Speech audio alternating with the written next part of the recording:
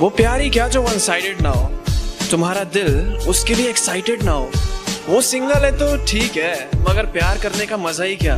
अगर वो already committed ना हो। उसकी सारी पिक सेव करते हो ना, अंदर ही अंदर उसकी बहुत तारीफ़ करते हो ना, तुम्हें शायद पता है, उससे वापस तुम्हें प्यार नहीं मिलने वाला। फिर भी मोहब्बत करते हो ना